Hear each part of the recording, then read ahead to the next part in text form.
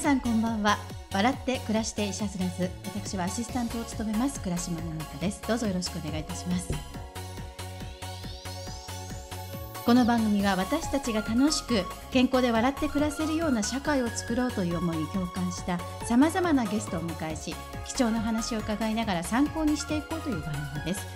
この番組の主催は中部大学特任教授武田邦彦先生です。先生今日もよろしくお願いいたします。えっ、とまあこのシリーズがこ今度で4回目になるんですよね。ね。はい。まあ、3回目に画期的なことありましてね。はい。食べれば食べるほど痩せると。はい。これが原則だと。かなり衝撃的な、ああ衝撃だ。食べるのを減らすと太ると、はい。しかも特にお腹が出ると。いうことですからね、まあ、カロリーの問題じゃないっていうことがよく分かったって。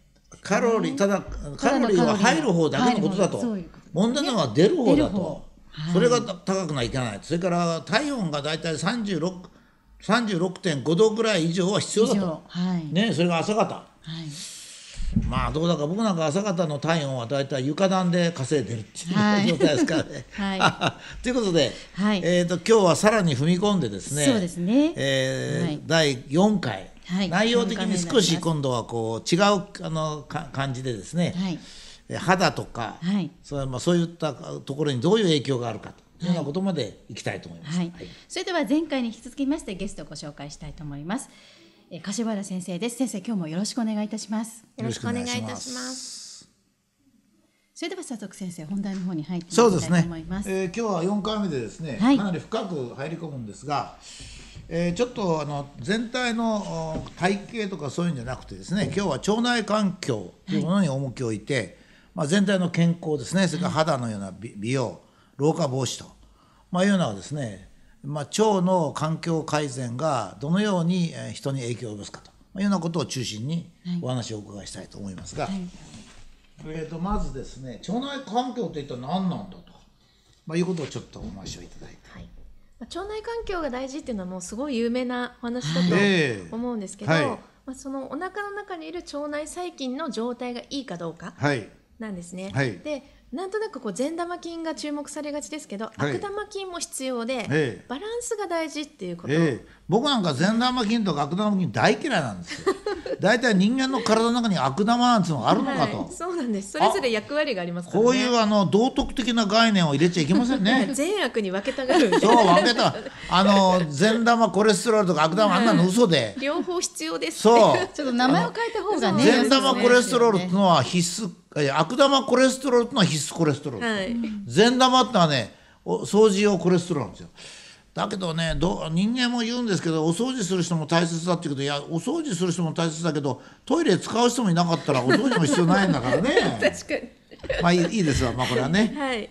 で、この善玉悪玉のバランスって、はい食べ物の入ってくる状態ではいすごく影響を受けて、はいい、いものを入れるだけじゃダメなんですよはね。いはいはいで、特に大きいのって、うん。未消化物が入ってくるのが良くなくて、は食べ物が大きい形のまま腸に来るのは、はい。ものすごいダメージあなんですよ。あなるほ。どなるほど。でそれはどうすればいいかって、うん。もうやっぱここも咀嚼で、うん。ちゃんと噛んでうん。細かくしたもの、で胃で消化したものを送ってあげないと。つまり胃から腸の方に行く時にもうすでにほとんどが消化されてるような状態に行くようにはい歯で噛んどかなきゃいけないと、そうなんです。そのために我々は歯を持ってるんだね。そうなんです。でそこが良くないとどんなにいいもの善玉菌とかを取っても入ってくる食べ物の状態が悪いと腸内環境ってすごく悪くなるっていうのがあってでもなんか善玉菌いっぱい CM でやっててこうね連れてくるのが食べるのがいいっていうイメージ。でヨーグルトとかも頑張って食べる人が多いんですけどでもあんまり効果ないとないですよ。大体善玉菌の名前がね。まあいいや。あ僕それは僕の趣味だからあんまりこだわらずに。はい。はい、でお腹の中がいいかどうかっていうのは、はいトイレが大切だと。はい。もうお便りチェックをしようよと、はい。で口からお尻ってそうですね。もうつながってるんで、うん。先ほど言ったように腸を良くしたかったら胃を元気にする、はい。はいそうですね。その前の口がちゃんと咀嚼ができないとダメはい。で便の状態はい。で一番、うん。その腸内環境をチェックするのっええ。て色なんですけど。大体皆さん今、はい。うんちは茶色いと思ってる人が多いですけど単純でね。はい。ええ。でも理想的なうんちの色は黄土色なんですね、黄色より。なるほど、はい。ああなるほ善ど玉菌が多くて腐敗してないとなるほど。黄色っぽくなるんです。よああはあはあはあ。で腐敗が進むとはい。茶色とか焦げ茶になっていく。あれあの単純の色じゃないんですか？単純の色は、うん。あのどっちかというと黄色っぽい。あ黄色っぽいんですか、ああはいなるほどでね黒っぽく茶色っぽくなるのははい腐敗なんですね。ああでえっとこの食べ物ですごく色が変わるんですけど、うん。はいはい。タンパク質が多いと、はい。まず濃くなるんですね、あはいはいはい。なるほど。で腸内環境大体あのタンパク質が多いと臭くなりますよね。腐敗しますからね。腐敗するんですよ、えええええ悪玉菌がどうしても多くなるああなるほど。悪玉菌、はい。まあいいや、うん そそうなんです。腐敗菌が多くななるんですね。でそうすると匂いも臭くなるしなる色もこれは硬さはどうですかって書いてくれる、はい。女女性はどっちかっていうと便秘気味だけど僕なんか下痢気味なんで大体いつも柔らかいですよ。ああもう硬すぎず柔らかすぎず。ああなるほど。スルッと一本弁がいいっていうなるほど。感じこの絵はなかなか面白くてねあのは発生学的に言うとね、はい。えっ、と口から肛門までは外皮はい。こういう皮膚皮膚と同じですからね。外側ですからね、はい。体の中じゃないですからねあれは内側だけど中じゃないそうそうそう。あの体の中だけども外だから。だからここのこの皮膚っていうのはこの外皮この外側の皮膚と一緒ですからね、だから腸面白いもんですよ。腸の内側が綺麗になると、ええ。お肌も綺麗になるっていうふうにああなるほどなるほど。あはい、それは僕は今の気がする。卵がこうできますとねここから陥没が始まるんですよ、はい。陥没が始まって卵の向こうまで突き抜けたものが、えーこの胃腸なんですよ。だから外皮なんですよね、あなるほど。だから腸が良くなるとあの、はい。肌が良くなるっていうのは本当だというつことですか？ながってるっていう。で腸内環境を整えるのに一番大事なのってうん。乳酸菌を取ることじゃなく、はい。食物繊維僕これまた嫌いなんですよ 本当ですか？だってデータがあるのかなと思ってあります？はい。えっ、とあ食物繊維がいいかどうかってことですか？これ食物繊維が低下してるのはいいけど、はい。食物繊維の量とはい。健康の状態腸内環境の状態を示すグラフがないと僕なんかああちょっと今日持ってきてないですけどあ腸内環境との相関は出てますね。はい。あそうですか。はい。でその時に、うん。えー、と食物繊維も種類がああ野菜の食物繊維はダメで。野菜はあまり効果がないんですよ。なるほど。意味ないわけじゃないんですけどあ穀物の方がすごく重要。なるほど。でなんかご飯とか雑穀に食物繊維のイメージ持ってる人あんまりい。ないんですけど、はいはい。やっぱりご飯を食べなくなると腸内環境ってすごく悪くななるほどるんですね。それもだからご飯は玄米的な方がいいとかシチュー米がいいっていうのもやっぱりはい。若干こういうものがあるということですね。食物繊維の量もあるんですけど、うん。うん。でもあの玄米って消化が悪いので、はいはい逆に未消化で胃に腸にあ行く場合行ってしまうのがあるとは逆効果なんですよ。だから後で出てきますけど先生は雑穀の方がいいよと言ってるのはそれなんですね消化の問題がすごくだけど大きい。玄米を猛烈噛む人がいますよねあ猛烈猛烈噛んでる人は OK です。うんああなるほど、はい。でも今の人やっぱ早食いだし噛まないし、そうそう胃も弱い人が多いので、そうそうちょっと逆効果だったりしそれ。から脂肪がいけないとそうですね。腸内環境を悪くするのは、ん脂質が多いと腐敗しやすいのと、そうですね。もう一個はタンパク質の多い場合はいはいはいはいなんで、はいタンパク質は脂質も必要なんですけど、はい。多すぎちゃダメっていうバランどなるほどスが大事なるほど。あね。僕ね食物繊維が食物繊維が必要だ必要だって言われる時一回もデータ見てないんでいつもあの不信感なんですけどちゃんとデータありますか、ありますあります。ああそうですか、はい。じゃあなんか今度の時に僕どっかのブログかなんかで紹介して、これ食物繊維が必要だっていうのはちゃんと訳があるんだと。デタラメ言ってんじゃないんだと。はい。はい言わないといけませんね。わかりました。それで、えー、と食物繊維アップ法。はい、食物繊維を増やすのにやっぱり野菜のイメージが強いので、サラダっていく人が多いんですけど、うんサラダってほとんど取れないんですよ、食物繊維が。サラダってのは大体僕に言わせたら毒物の塊みたいなもんでね。そ食べちゃいけないってすぐ言ってるんですけど積極的に食べる必要はないない。私もそう思うんですけどあの基本的にまず食事量そのものが大事で、うんうんやっぱ3回しっかり量を取らないと、はあそもそも食物繊維って取れない。なるほど、はい。それからまあ軽食。スタイルで。主食抜きじゃダメですよっていうあことと。あなるほどなるほど、はい、あとはまあ可能であれば白いご飯よりももうちょっと雑穀が入ってたり、ええ玄米よりぶずき米がいいですね。少し削ってある方が。あ七分米？七分づきとかあはい。五分づきとあかあなるほど。そういうね。ぐらいがちょうどあの美味しくないってことないですか？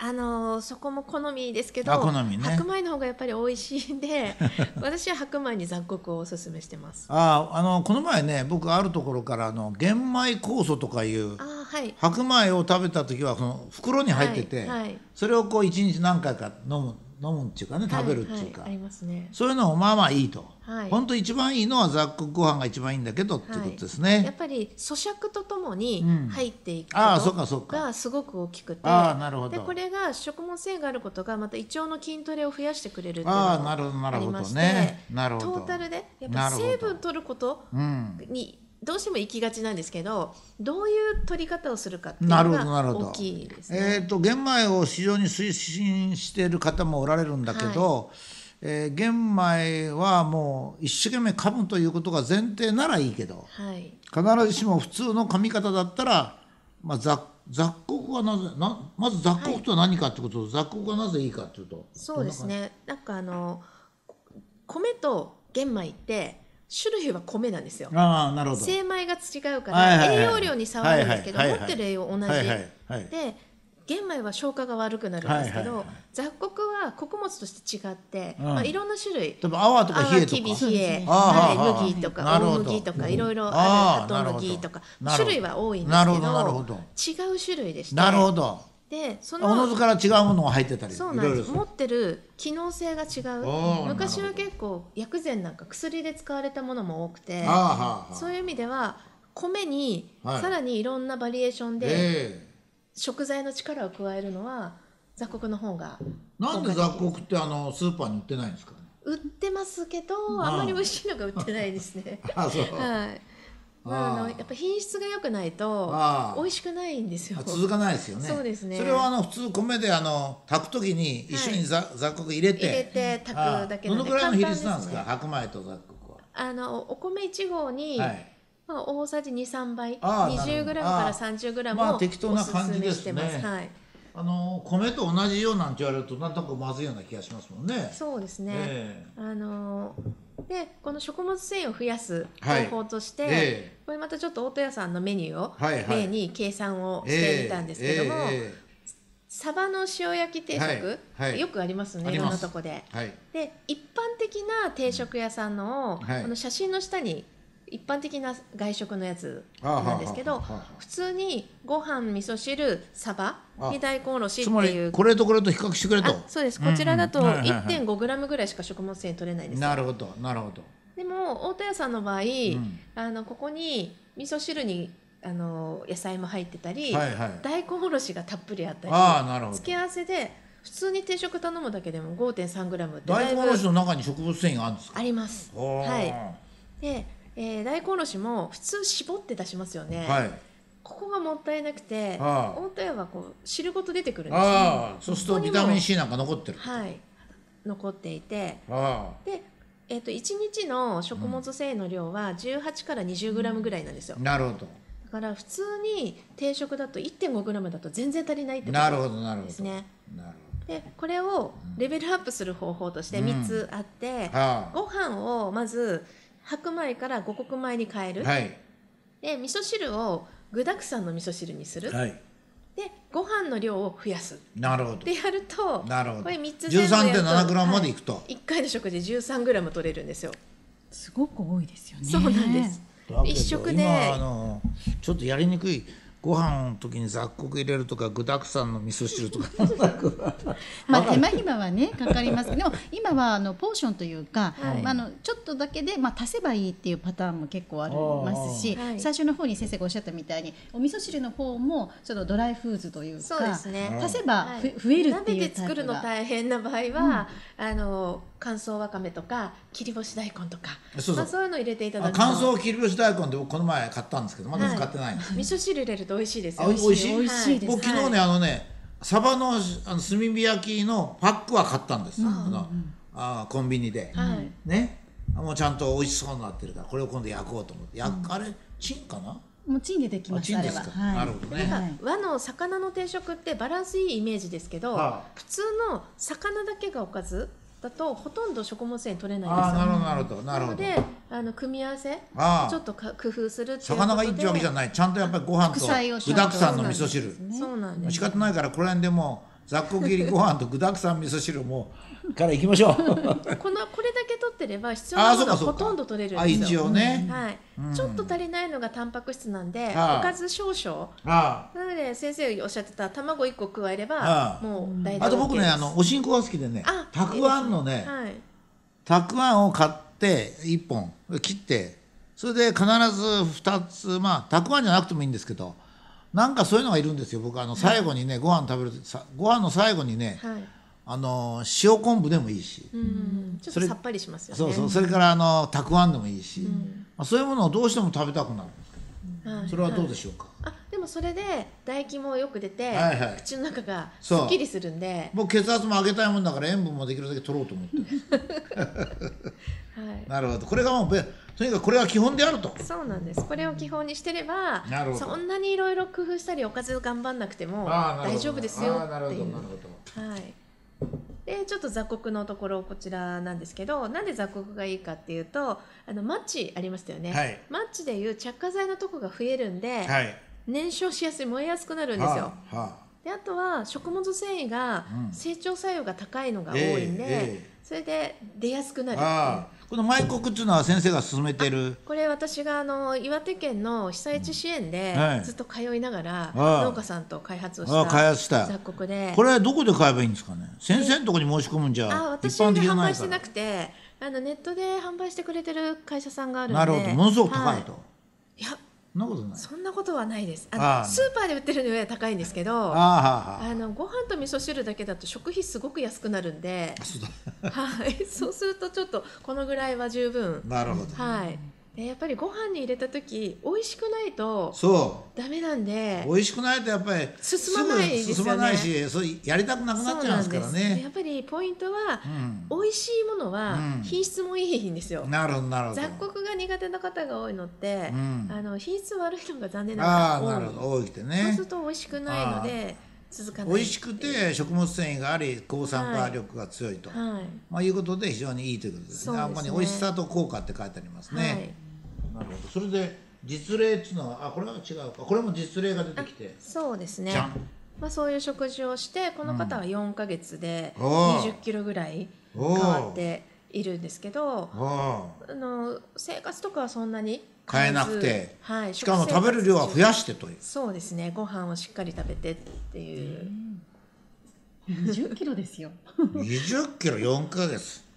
そうなんです。だからやっぱりうんちゃんと食べてうん。痩せていくとうん。なんか元気になる元気になりますからね。はい。そうすると行動量とか活動量もそうなんおのずと増えるような感じに。あちょっと階段登ろそううかなとか、ですよね。気持ち的にもなるっていうこともありますよはいそうなね。はいうん、それからね、あのえー、と僕はねあの最近っていうかここ1年前ぐらいからねもうタクシーできるだけやめてね。あタクシー会社に申し訳ないけど僕今ずいぶん今までタクシー代使ったからもういいとしてあの歩くようにしたんですよ。はい。はいで例えば僕の家から名古屋駅までタクシーに乗れば20分なんだけど、えー地下鉄に乗ると40分ぐらいかかるの。だけどまあ20分前に出りゃいいんだから。うん。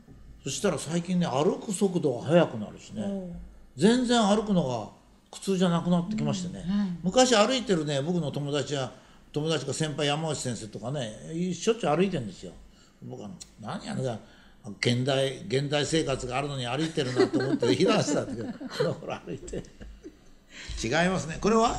あであの体のメカニズムをこう代謝下がったりしてるとちょっと食事変えただけだと変わんない人が多いんですね。あ。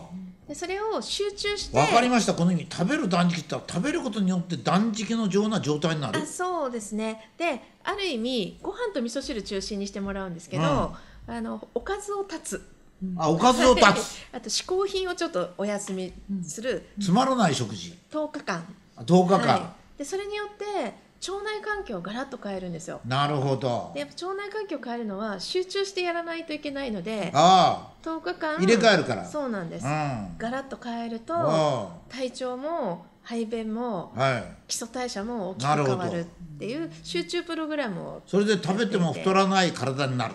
食べる量増えても痩せていく人が多いんですよ。で10日間はちょっと集中してやってこの番組爆発的に視聴者が増えるんじゃないですか。怖いね。怖い。でこれをあの若玄米っていう、はあ。の普通の玄米って硬いんですけど、はいはい。成熟する前のあーまだ青い玄ああ米なるほど。未熟な小さめの米を特殊にちょっと作ってもらってて。でそれ若玄米でうん。10日間やるっていう形でやってて。でその若い玄米って、うん。昔から農家さんは結構自分たちが食べてるんですよ。ああなるほどなるほど。でこれが栄養も多いし、うん。デトックス力が高くてなるほど。それでこの若玄米を使った10日間っていううのをん。いろいろ検証して今はあのサービスで。僕あのデトックスの嫌いなんですよ。なんかあれあの毒物を除くって感じでしょ？そういうイメージですね。だけども体の中にそんなに毒物みたいなのがあるんですかね？やっぱり便の出が悪いと、うん。そこに不要なものがあるんでまあ、改便にしてなるほど。出る量が増えるとなるほど。やっぱり体調はよく良くなる。ね。毒物かどうかはですけど、ね出しいらないもの早くなんかちょっとなんかデトックスと宗教信仰宗教的な匂いがちょっとする。そうかもしれないですね。やっぱりちょっと意味合いがうん。いろいろビジネス的に使われてたりもするのかなとは。これでご紹介をちょっとしていただいて、はい。でこれはその10日間ん。3食あ10日間ね。お腹いっぱい食べてのビフォーアフターなんですね。で1日2合以上食べてもらうんですけど、うん。それで他運動とかは変えずにそのままの生活でかなり姿勢が変わったりおな特にお腹周りに変化が出る方が、多くてまあ、男性だと1 0センチぐらい10日でウエスト落ちたりするんですよ。女性だと5 6センチっていう方が多いんですけどそれ以上に見た目の変化が大きくて。なんか姿勢も変わってましたね。そうとですね。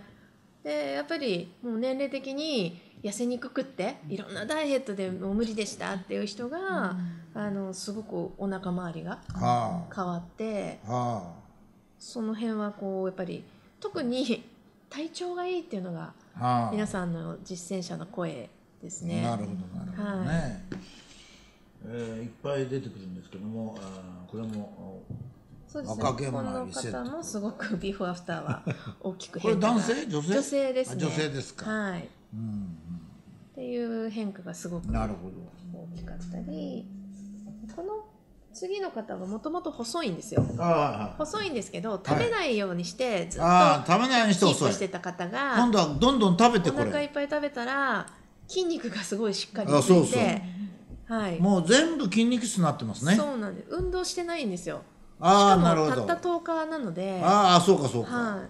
たった10日ですからそうなねんです。運動なしで腹筋がこう割れてくるっていう人が多いんですね、この人なんつってます？本人は感想は。あもうあの全然疲れとか違うし、肌ツヤがすごく良くなって。良くなって。まあ、もともと綺麗な方なんですけどすごい綺麗になりました、はい。へえすごいですね。であのお顔に変化が出る方が多くて、はい。この方も顔色もすごく変わったんですけど、はもうなんかお顔のむくみとかあ全然もう目の大きさとかも。これあの色が少し変わってるけどこれは着色してんじゃなくて？加工はしてないです。加工はしてないではい、はい。へえ血管血行が良くなってきたんだすごねく変わる人が多いですね。で この方はスムージーとかそういうのをすごく美容のために頑張ってやってた方なんですけどすごく肌ツヤが良くなり特にメンタルが大きく変わったって言ってましたね。はああかか活力が出てきてね。い、そうですね。今まであの引っ込み思案だったんだけどなんか積気持ち極的になるが前向きになって、になってね。はい、いろいろ楽しくなった。ああなるほど。はい。僕なんかちょっと前向きすぎるっていうか。先生必要ないはいどうぞ。この人もそう。この方ももうあの顔つきが全然違って顔つきが変わってねはい。目も大きくなって。ものすごい若々しく若々しくなって。て肌つ肌の透明感出てっていうのが10日で。筋肉質になって痩せて 肌がツヤツヤして美人になる。はい。まあでもこれがですねただ食べるのではここまで変わらなくって、まあ、うちの先生たちがサポートしてて食べ方とかをやっぱり癖を直さないと結果が出ないんですよ。これはどこに行ってこのリセットプログラムってやるんですあか？あのうちで資格を取った先生たちが日本中でやってるんですけどあやってますからね。はい。例えばあのあの名古屋にもこの前来てくれた人とか、はい。大場さんなんかもいいと。おばさんなんかもはい。ああそうですか。そうなんです。でそういう方たちがいっぱいあのブログとかはあ。やってるんで、えあのそういったところに聞いていただくと。なるほど。はい、であとはこれ 私の本最近出たなるほど。はい本で食べ方とかを変えるとなるほど。本当に体力とかああ。ツヤが変わっていくので、ああ。はい、おかしいですねだだってなんでこういう方ちゃんとした理論もあり実績もあるのにはい、相変わらず、まあ、テレビはインチキだからとはいえなんかダイエット法をつと1日何歩とかってなるのかと。考えてみりゃそれは入力の問題だけなんだから先生の言う通り、出力考えりゃ当たり前のことだけどこれほど当たり前のことがなぜ世の中に、ま、普及しないのか。と。いや私もすごい不思議ですけど まあ一つはやっぱり短期で分かりやすい方がうん。こうビーフォーアフターとしては。あでご飯を食べた時って食べ方が間違えるとやっぱ太ったりはするんですあよね。なるほどなるほど。でそこの部分が、うん。やっぱりどうしてもカロリーとかうん。食べ物ばかりで、はあ食べ方っていうところがあまり世の中にないのかなと思って、それからもう一つあの食べた方が痩せるというような概念っていうのは、はい。よっぽど頭切り替えないと、ね。頭に入ってきませんもんね。さっきだってあの前回のあの男性で競輪選手がなんか要するに今まで3杯しか食べてないのを15杯にして筋肉質になって痩せるなんてもう頭の中に入りませんね。いや本当にそうです、ね。で本人も怖いって。食べても食べても痩せるから怖いって言ってました。本当そうですよ。でこれは食べる前はもっと怖いですよね、食べたら太るんじゃないかって、でもこの食べたら太るって思ってるとやっぱ太りやすくって、うん、ああなるほど。やっぱり意識がありますからね。もちろん意識の力がありますからね、はい。すごく意識の力ありますね、はいまあ大脳ってのはあなんか前回かなんか先生言われた通り大脳が最終的に指令しますから、はい。その指令っていうのは意識も入りますからね。そうなんです、ええ。なので、うん。ただご飯食べてだとうん。失敗する人が多いんですね、はいはいはい。なのでうちでは先生がサポートして意識改革からやってあ先生のあの、まあ、関係のその団体の人っていうのは大は体い全国に何名ぐらいおられるんですか、今ですね、はい。あの指導者まで行ってる人はい。が300人ぐらい、300人ぐらい、はい、大体全国各地におられると。そうですね。例えばあの東京大阪名古屋福岡札幌ぐらいはいると。主要都市は大体いますあ主要都市は。はい、あはは。いはこういうあのちゃんと伝える人をええ。全国に増やしたいなと思って、なるほど。普通にご飯味噌汁で、はい。こんなに幸せになれるのにっていうのがなるほど。私僕でもね教去年の3月かな。それからはい。去年来ていただいたの10月か11月頃、会はい。で今度3回。やっぱ3回ぐらい聞かないとね 頭に入っていかないんだ。だってもう全然違うことでしょ？はい。だから最初聞いた時はねおかしいなと思いましたよ。だけど自分でやってみようと思ってやってみたら、少なくとも僕の体重は増えなかった、あへえと思ったんですよ、それはもう本当へえと思いますよ。だって山盛り食べてても太らないんだから、はおかしい。出力が上がったってこああとですね。出力が上がっはい。で疲れにくくなったりますますお元気になられたんじゃないですか？僕大体は興奮してるからいつも元気なんです。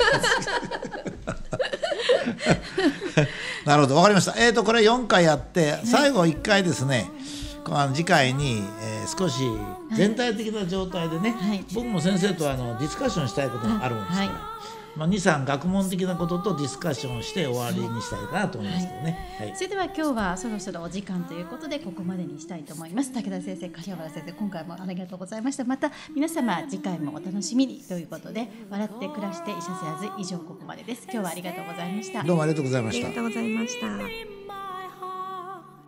how I miss those days